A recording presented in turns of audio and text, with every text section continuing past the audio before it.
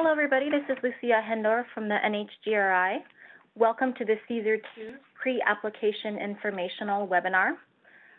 There are a number of NIH staff here in the room with me and others who may be joining on the phone, but in the interest of time, we won't, we won't be going through introductions, but rest assured that we have um, a number of folks here who are able to answer your questions. Okay, so I'm going to be starting off with a very short overview of the CSER 2 program and its goals. Um, for today, let me point out that at the top of the slide that I'm showing here is the link to the NHGRI page where hopefully you found the dial-in information for this webinar, as well as the link to the FAQs that we have posted and will continue to update. As a matter of etiquette for your other fellow callers, please keep yourself muted unless you're asking a question. To unmute during the Q&A, click the mic and you should be unmuted. Um, and then please remember to remute yourself after you have a chance to talk. So again, don't, don't unmute now, but when we're ready for questions, um, that's what you'll need to do. Okay, so let me point out that um, we are all here today to discuss the CSER 2 program.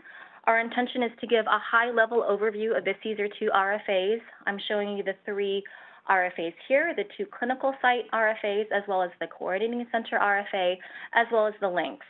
Hopefully you're all here because you have some um, familiarity with the RFAs and had a chance to look them over. Um, and I want to mention that even though we'll be discussing the high-level um, RFA goals and answering questions, the RFAs are the official source of information. So let me go in a little bit into what we um, intend when we when the NIH released requests for applications. So RFAs serve multiple goals. And so when you hear us answer questions about them, um, we may be answering from a number of different perspectives. First of all, they are instructions to applicants, as you're well aware of. They also serve as guidance to reviewers. So there's information and criteria for reviewers to consider as they're evaluating the ap applications. For grantees that will be funded as part of CSER 2, there are terms and conditions and expectations um, for grantees. And then also the high-level um, goals of um, the NIH, the NHGRI, the NCI, the NIMHD um, are sort of folded in, as well as a um, retrospective and, and, sort of descriptive history of CSER um, 1, which is currently ongoing and wrapping up.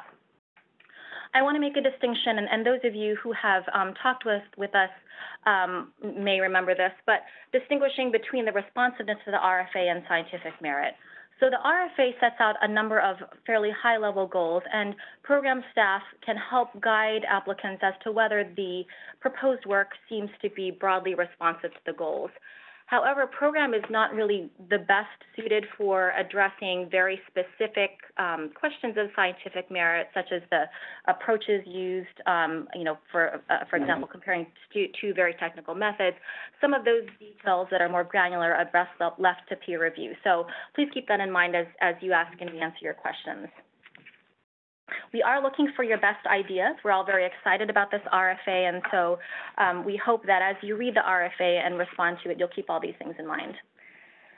So one key thing I want to emphasize is that CSER 2 has a, an important um, kind of um, site-specific as well as consortium overview. So taking a look at this picture of this orchestra making beautiful music, you'll of course recognize that there are many different types of instruments, the strings, the woodwinds, the brass, the percussion that go into making this orchestra.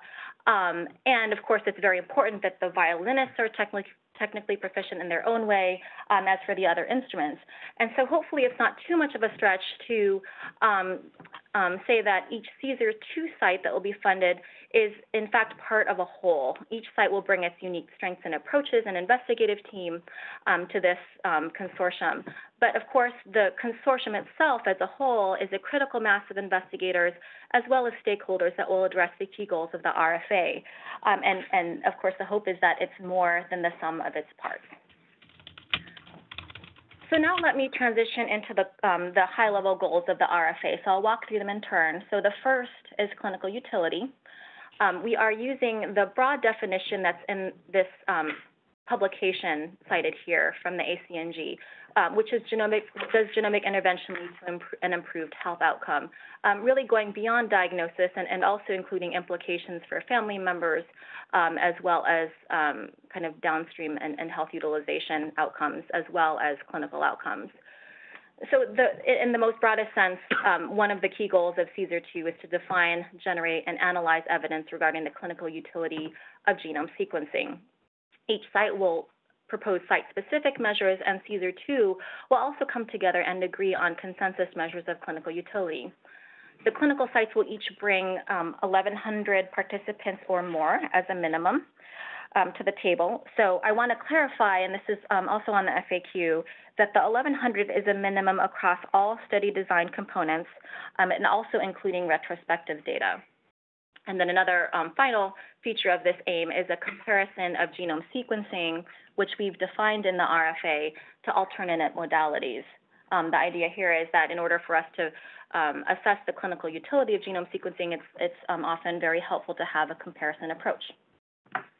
A second high-level aim of CSER 2 is research at the intersection of the, the domains that you see here. Our experience in CSER 1 um, and knowledge of the field suggests that there are critical interactions among these different domains that influence implementation of clinical genomic sequencing. Um, so applicants will describe how their proposed research um, takes advantage and, and proposes to answer questions um, related to these domains and how the proposed research might generalize to other sites or settings. It's important to recognize that we, um, we are starting to get a handle on a number of two-way interactions. So, for example, the interactions between patients and practitioners. But going beyond those two-way interactions um, for the next um, four years of CSER 2 will be critical, as will the, um, the tie-in of these domains to diversity goals, which are described in the RFA, as well as health disparities. A third aim of CSER 2 is addressing real-world barriers to integrating genomic, clinical, and healthcare utilization data within a healthcare system for the purpose of clinical decision-making. So in our concept clearance, where we presented the, um, the high-level goals of this concept to our NHGRI Council, we described a number of areas, um, which you see here represented in the figure, genomic, clinical, and healthcare utilization. Um, the bullets are examples. And what we did was we sort of described how these data types tend to be siloed. So for example, it's, it's very difficult um, and challenging to link genomic to high quality phenotype data. So um, addressing these world barriers and addressing the data integration as part of CSER 2 will be critical in, in making sure that CSER 2 data contribute to an evidence base that will be helpful for clinical decision making. And so we're envisioning this AIM as somewhat of a pilot. Um, so we, had, we recognize that there are different challenges um, and um, advantages of doing so in different settings. And so um, the RFA describes a little bit about what we expect in terms of um, this pilot. Um, and as part of part of that, you know, this AIM has somewhat of a many flowers bloom approach, and I think you know the, uh, different groups will come up with slightly different approaches, but we will encourage interoperability of processes, standards, and best practices um, across CSER sites and, and with external healthcare systems as feasible. And I also want to mention, as part of this goal, um, we, we, anticipate that CSER 2 will be in a great position to contribute to existing resources um, that are doing similar work, such as ClinGen.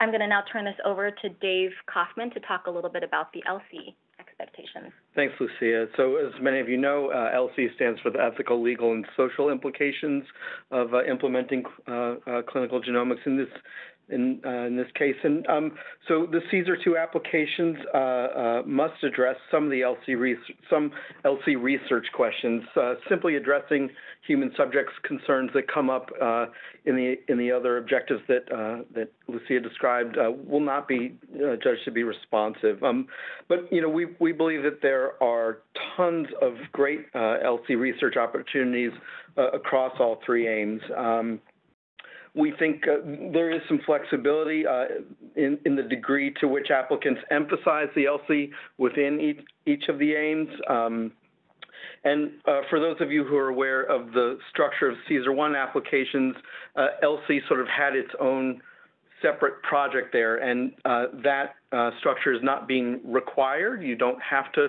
write your ELSI as a sort of separate part of the application. on the other hand, you certainly can do that. Um, we expect that ELSI research will, in CSER 2, will go beyond issues of, uh, of consent and the return of research results uh, and, measuring sort of psychosocial outcomes of returning uh, results to people. Um, and of particular interest to us um, is research that will help ensure the utility of genomics as it gets implemented in diverse populations in healthcare settings beyond academic medical uh, centers and in ways that address and, and don't exacerbate health disparities. Uh, you know, and with respect to this last bullet point, you know, some of this work uh, may indeed be oriented towards identifying problems that exist as we uh, implement clinical genomics more broadly. But we do hope that some of the work will be oriented towards uh, some problem solving to sort of, you know, try and get at some some of those issues. Back to you, Lucia. Okay, thanks, Dave. Sure. Um, so that was ELSI. Another important component of CSER 2 will be getting input from key stakeholders, which we've described in the RFA as including professional societies, payers, regulatory agencies, and patient groups. And this is this is um, you know a somewhat expanded and more focused effort in CSER 2 to engage these stakeholders um, in in helping define and be responsive to uh, metrics and clinical utility, and, and really um, any issues that come up related to um, genomic sequencing and, and, the integration of it into clinical care. So I think we recognize that today in 2016, we may have an idea of what the landscape may look like in four years, but we may not, you know, be able to recognize everything that comes up. And of course, we want to position CSER 2 to be responsive to evolving needs for data and evidence. Um, after all, this will be the clinical sequencing evidence um, generating research consortium. And so applicants will be expected to develop site-specific stakeholder engagement plans and um, describe their potential contributions to a CSER 2-wide engagement plan. The Coordinating Center RFA describes um, some expectations for the Coordinating Center to help facilitate the development of this um, consortium-wide engagement plan. And an important thing to keep in mind is, as you think about these plans is to um, consider the value of engaging stakeholders throughout the entire research process, from the study design to the implementation of findings. Okay, so that's um, basically it for our short overview. Um, I want to remind people that we do have this FAQ up um, at this web page. It's the same page that we cited in the notice in the NIH guide. Um, the archive of this webinar will also be posted there for um, colleagues of, of, yours or the community um, who aren't able to make it today. So there are three scientific contacts listed in the RFA. I'm, I'm one of them. Um, I also have colleagues from the NCI and NIMHD here, and I, I just want to give them a chance to say anything if there's anything they want to chime in with. Sure. Um, quick introduction. Oh, sorry. I'm Charlisse Caga-anan, and I'm based in uh, NCI's Epidemiology and Genomics Research Program, and we've been very fortunate to be um, part of CSER 1 and now CSER 2. So everything that, um, for all cancer projects, everything for CSER still applies, but if you have cancer-specific questions, it might be best to um, get in touch with us for your concerns. Okay, great. Um, thanks, Charlie. Um, so I think we are coming to the end of our overview. Um, I do want to go through a couple of questions that we received in advance um, as you are gathering your thoughts. Um, as, as you're preparing to ask questions, however, if, if you could um, try to keep them as general as possible to allow for as many questions um, as, we, as we can to, to get answered today. Um, we recognize that people may be interested in um, sharing the details of their study designs, um, and you know that's, that's appropriate to some degree, but if people have very, very specific questions, they may want to consult with us offline so we can answer those specific questions. Okay, so one of the questions that we have gotten is whether um, clinical utility, um, the clinical utility aim should focus on a single disease entity or multiple disease entities. So what is the best approach? And I want to show people um, a link to the, um, the, the uh, FAQ. Let's see, can we get that up? The frequently asked, okay. Um, where we've, we've started to address this. Um, this is a question that we've heard. So um, for those of you who are on the webinar, you can see it's question two here. So the RFA does um, have some language in there that applicants should obviously justify the proposed clinical, clinical conditions that they plan to study. Um, NIH is, is relatively agnostic about, you know, one versus multiple um, conditions, and so, you know, we recognize that really this is a judgment call on the basis of the investigators. Um, the optimal balance, of course, um, needs to be considered in light of the scientific questions that your investigative team is most um, uniquely poised to answer.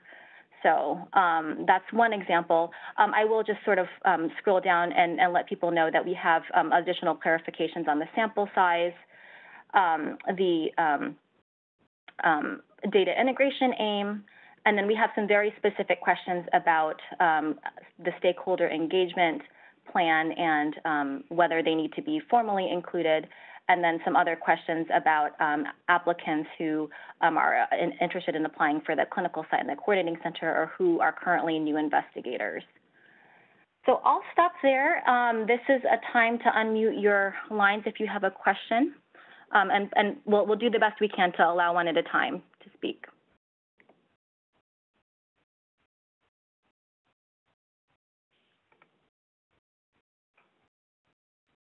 Any questions? Okay, can we provide an example of a stakeholder engagement plan? Is um, one question that a, a, participant's asking on the chat. So, you know, I unfortunately I, I don't have a plan ready to share with you. Um, one thing that I would encourage people to do who aren't as um, familiar with these, we, we have been having conversations with PCORI, um, and they have been extremely helpful in sharing examples of stakeholder engagement plans. Um, they are, of course, for a different purpose, but one thing we can do is um, provide a link on the FAQ so people can um, perhaps um, consult those and, and determine what features may be related to their specific aims. Yeah, I would, I would just add, Lucia, that if you do go to look at PCORI's plans, uh, they are much more in depth than we uh, acknowledge that we will be able to do and we expect you all to do. Uh, they do engagement at every turn uh, and uh, we're not expecting that level of depth, but at least some of the, the sort of topics uh, and, and sort of methods I think are there. Good point. Other questions?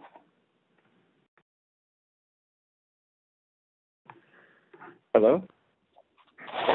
Go ahead. Can you hear me? Yes. I have a question regarding uh, what I consider somewhat of a gray zone, where obviously evaluating the clinical utility of, in, our case, uh, potentially clinical whole exome sequencing. And of course, this is done in clinical practice, and we're looking to see the impact of this uh, on clinical utility. But the question I have is regarding the budget and kind of what is covered by what. The research itself is, in fact, investigating this use of a clinical tool, which in and of itself is something that is considered a billable process. I'm just wondering if the NIH has any sense of whether all efforts uh, in these initiatives should be covered by the research budget, or is it appropriate to use clinical resources and, you know, redirect the budget, if you will, to assessing downstream of that? Okay, so that's that's a good question. So um, the the the short answer is costs that are needed to generate the data um, in, a, in, a, research setting or you know a, a clinical setting are allowable. Um, an approach in which an institution, for example, already has a process that they may be able to use to generate data for CSER 2, of course, may not need to request costs in the CSER budget. And so, if you have an existing process by which you're going to generate data, make sure you describe that in your application. Um, you know, people who aren't in that position who need costs to generate clinical sequencing data or um, require an, investigators on their team to generate the data should obviously budget for those costs. Does, does that help? Okay. Sorry, I went back to mute, mute oh. again. It did clarify things. Thank you. Okay, you're welcome. Can, can I ask a related question? Sure. Uh, so sort of converse to that is uh, um, data that is generated in a research setting still would still be considered to be responsive in terms of assessing clinical utility, even if it's not done in a CLIA certified environment? Um, okay, so I, I'm going to actually just responding quickly, try and, and um, take tease out two components. So, so you know, obviously, research data is part of this research consortium. So, you know, NIH funds um, scientific research, and so it's completely appropriate for the data that's generated um, as to CSER uh, from CSER to be considered research data, clinical research data, but research data. Um, now, I, I sort of heard a question about whether the research should be generated in a CLIA setting. And, you know, I think given the, um, given the goals of the RFA, I am finding it difficult to think of a situation in which you would not generate research um, findings in a, in, in, a, in a CLIA setting. Um, I, I think, you know, interpreting variants and returning them to participants, um, the standard of, of care currently really is CLIA, so I think you'd have to have you know, a very strong justification for not um, using that approach. Okay, thanks. So we'll take a question that came in via um, the email for cancer-focused applications about RNA sequencing, and is that allowed? Okay, so um, just we want to say that with the, with the RFAs, we're encouraging the comparison of genomic sequencing approaches um, to alternative modalities, but with a preference for established modalities such as standard of care targeted gene sequencing panels. So we know to the extent RNA sequencing is already being used, then it's perfectly fair to have that as be one of the, your comparators with um, genomic sequencing. So inclusion of other genomic approaches generally is permitted as long as um, the justification relates to the genomic approach um, to a specific aim in the RFA. And then the second part is, is somatic and that sequencing allowed? So, of somatic only sequencing. So we would encourage in the RFAs um, germline, germline sequencing. So germline somatic integration is something, you know, that we put in our NCI priorities. Um, for somatic only, I think you'd have to have a very strong justification, and so we, we would prioritize germline and somatic over that.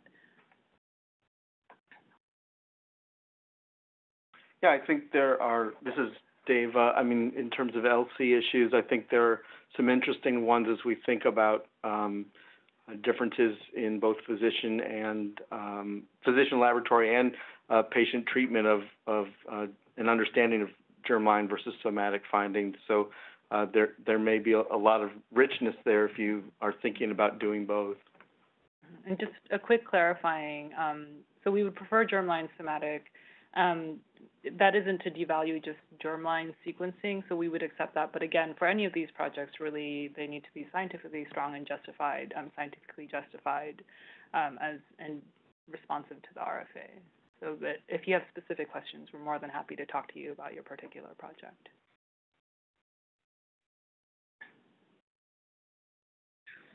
I have a question regarding, uh, particularly in pediatrics populations, uh, how the NIH might view the appropriateness of whole genome as opposed to whole exome sequencing in a clinical context. Uh, this is clearly something that is starting to emerge, but is probably not considered mainstream by any stretch in this setting. Is that something that you would consider reasonable?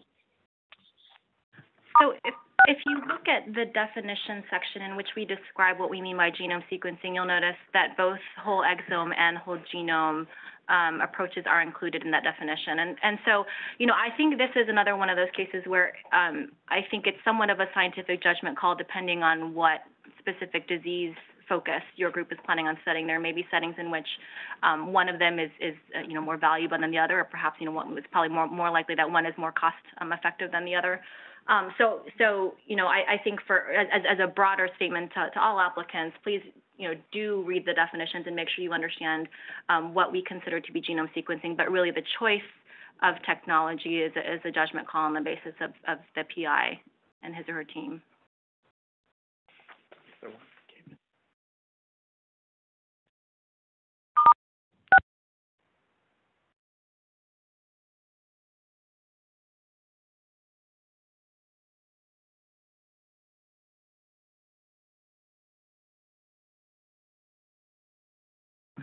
Okay, so um, three second rule of, of, silence here. Let's let's go ahead and go to another question that we've gotten via the WebEx. Um, regarding the data integration aim, um, number three, what scale is referred to for a healthcare system. So, for example, is a single site community health center, would that constitute a healthcare system? Um, and so I think the answer there is, is, yes. I think you, as long as you can sort of relate it back to the goals of the RFA, um, the exact healthcare setting can be fairly broad. And in fact, we are encouraging folks to think beyond specialized academic medical centers um, in terms of um, evidence generation for CSER 2. And in, in objective three, you'd need to be able to show that you've got, in, in that, uh, community healthcare center, that you've got some, you know, some data integration issues that you're going to try to address.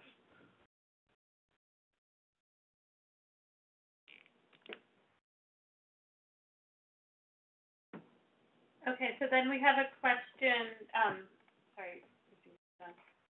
Does the reference to clinical laboratories refer to routine diagnostic testing as opposed to clinical sequencing laboratories in objective two? And in objective two, prim- when we're talking about the intersection between the, the providers, the fam, the patients and their families and the clinical labs, we were primarily referring to the clinical sequencing labs in the, in the context of, of that. If you have other, um, routine diagnostic testing that play, labs that play an important part in your specific application, then that would be something that you would want to also include in that. Um, really, it's like, who are the main players that are involved in the, that clinical Interaction. interaction?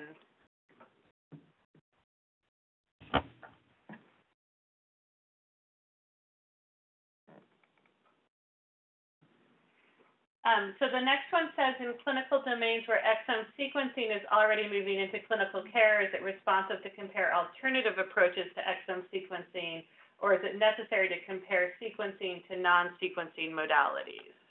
So I think the, um, the expectation in the RFA is to have one or more sequencing modalities compared to alternative modalities. So the alternative could be, um, another, uh, genomic modality, or it could be an, a, a non-genomic or non-sequencing modality. I think that's a, a judgment call on the basis of the, of the investigative team.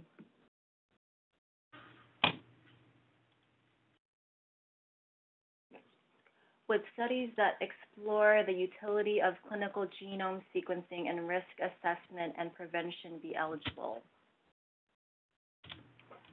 Yes. I think, yeah, I, I think so. I think, um, whoever asked that, asked that question may want to give us some more details or, or contact us.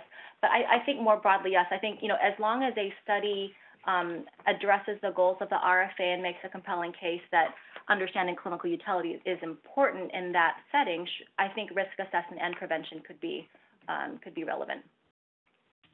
So the next question asks whether or not hospitals or groups partnering with a co- commercial genomic sequencing company to do the sequencing would be eligible or responsive. Yes, so the answer is, is yes. You'll of course need to describe the, um, the site that will do the sequencing, um, and then in the RFA, um, address a number of, um, specific metrics that are related to the genome sequencing costs. But yes, it would be, um, permissible to allow a private, uh, commercial company. Okay, we have one technical question. Will the slides from today be made available? Uh, yes, they will. The slides and the webinar with the audio will be made available. For diversity sites, is ancestry marker testing required or expected? Um, we did not have any explicit requirements. Um, I think, um, you'll want to, if, if you are proposing this, you'll want to describe, um, the use of it and the rationale. Given the definition of sequencing in the RFA, do the diseases or phenotypes need to be associated with one, with more than hundred genes? So, you know, in the definition, we, um, really were basing the genome sequencing test strictly on the technology. So I, I, don't think we, we said that they had to be linked to like an individual phenotype that was associated with more than hundred genes, if I'm understanding the, um, the question correctly. But the, the sequencing technology used, if it is a targeted gene sequencing panel, needs to include hundred or more genes. And I think more broadly, this, what is not gonna be responsive or in scope is if you were planning a project where your sequence, the sequencing component only sequenced one or five or twenty genes. We really need one of the two arms in the comparator to to, to do a broad look at the genome, be it a genome, whole genome sequencing, whole exome sequencing, or a large gene panel, which we mm-hmm. use the hundred genes as a somewhat arbitrary but important distinction to help determine what is meant by a large gene sequencing panel. Let's pause and see if anyone else wants to chime in with questions. We have, we have a number of other questions that have been asked.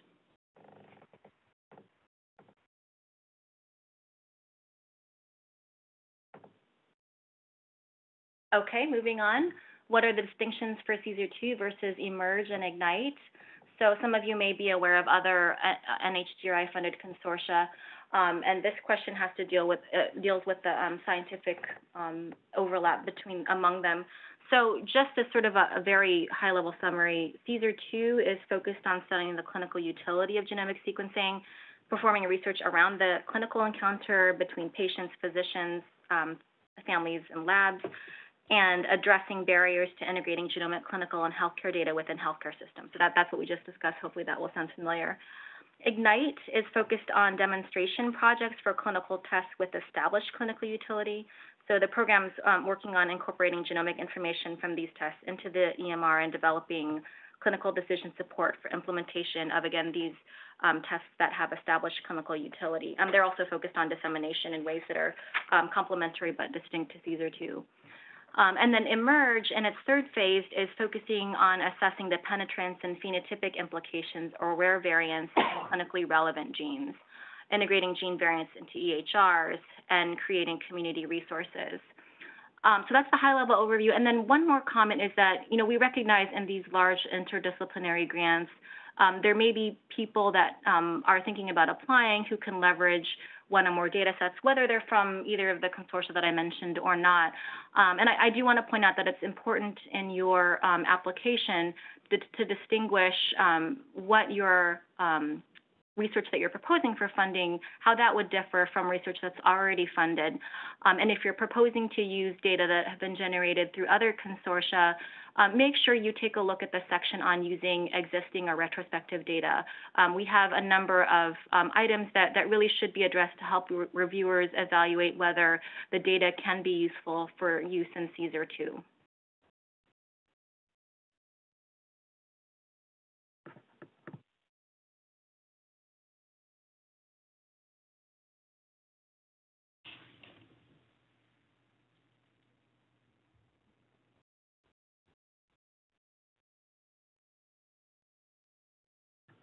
Another question that was uh, written in uh, for the ethnically for the ethnic diverse sites, is it enough to be doing the research in a diverse setting, or is it, is it expected that implementation in a diverse setting will be a central focus of the research itself? That is, versus looking at genomic, just the genomic diversity of, of the patients. Um, I think that uh,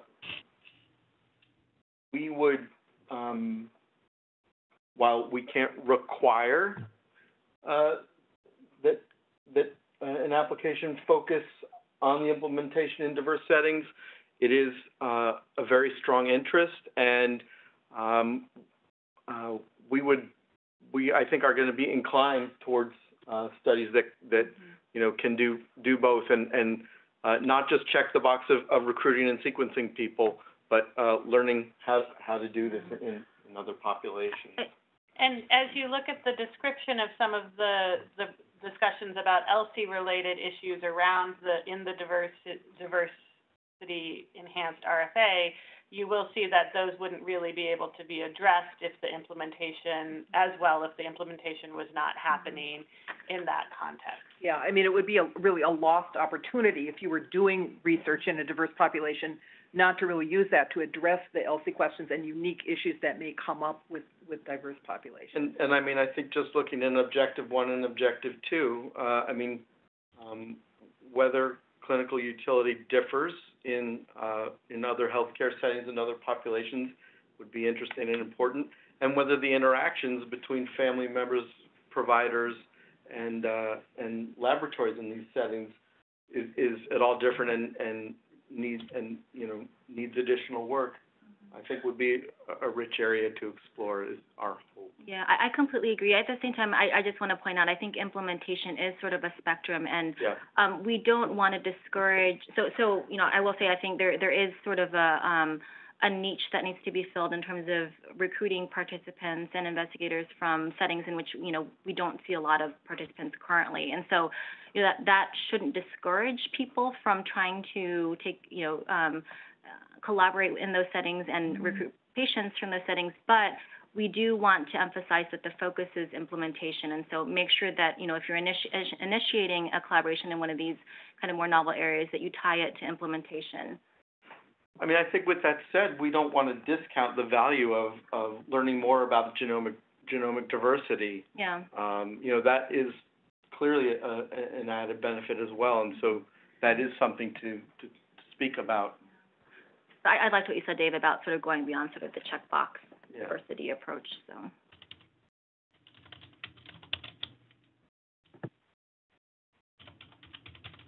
Other questions?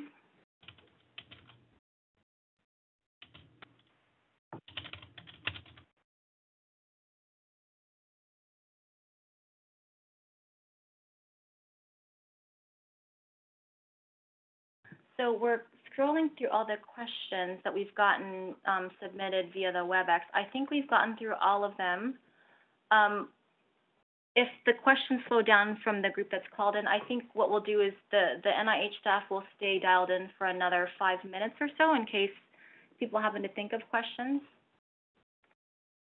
So um, if you do have questions or thoughts, please share them.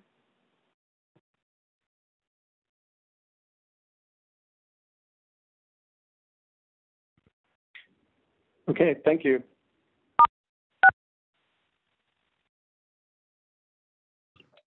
Thank you very much. Yeah, I mean, we already Okay, one more question about the, um, the, the definition of diversity.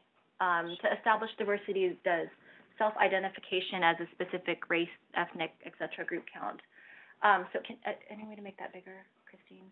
So, so I do want to point out, um, in the RFA, we have a definition section, um, which is highlighted here in, in yellow, and we do have a very specific, um, definition of diversity. And I want to point out, this is extremely relevant for those of you who are applying for clinical sites, um, because the twenty-five percent and sixty percent minimum, um, thresholds for recruiting diverse participants will be evaluated in relation to this definition. So you can see here that, um, those patients can be defined according to, uh, racial or ethnic minority populations, underserved populations, which relates to the definition immediately below this one, or populations who experience poor medical outcomes. So just keep in mind, you will have some number of patients that you're planning to recruit for CSER 2, um, either twenty-five percent or sixty percent of those per, uh, participants, depending on which RFA you're applying for, need to meet this definition. So there's been some general questions about the relative emphasis of cancer versus non-cancer or the number of cancer applications that we would expect. And we're not coming into this with any quotas or specific expectations for for different disease types. We will, of course, take into consideration programmatic balance. We, you know, we don't want to wind up with all of the sites focused on the same type of disease or broad category of disease. Um, but I don't think that the only reason we would potentially be considering cancer differently than we might consider cardiovascular disease as a group or, or infectious disease as a group or whatever disease group you want to choose is because we are partnering with NCI. And so that opportunity of co-funding does give, you know, us um, opportunity to consider, you know, bringing NCI in as collaboration. But the NCI co-funding is not 100% directly tied to the number of, of applications we would fund. And it'll be dependent on what quality of applications we get and the diversity of different disease types that wind up being being submitted and and and reviewed and, and hitting the other programmatic criteria. Okay, I think there's a, a request for clarification. Can we rely on participant self-identification as Hispanic, AA, et cetera? There are other approaches. I, I think that's allowable. I think, yeah, we recognize there are different approaches. Yeah, again, I mean, I think, you know, recognizing the limits of self-identification and, Mm-hmm. and, you know, the need for for care in, in the way that you ask those questions, but Okay, we're slowing down with questions here, so maybe this would be a good time to point out that we are requesting letter of, letters of intent by July fifth. Um, these are not obligatory, but, um, it does help us plan for the review, so please consider sending one in if you plan to develop an application for any of the RFAs. Um, and then the application due dates will be August fifth, um, twenty sixteen by five PM local time of the applicant organization. Um, we do have a separate application due date for AIDS applications. If you are planning on submitting an AIDS application, please contact me offline so that we can discuss your application, and that AIDS due date will be September seventh. Okay, so I think unless we get questions in another minute or so, we will, um, start winding down the call and get ready to sign off here. Last call for questions. Okay, I think we'll wind down the webinar. Thank you to everybody who dialed in. Um, we're very much looking forward to hearing, um, and seeing the ideas that the community comes up with. We're, we're all very excited about CSER two here, and we hope that you are too. Um, thanks again, and, and feel free to reach out with additional questions, and, and we'll update the FAQ. Okay, thanks everybody for joining. Bye.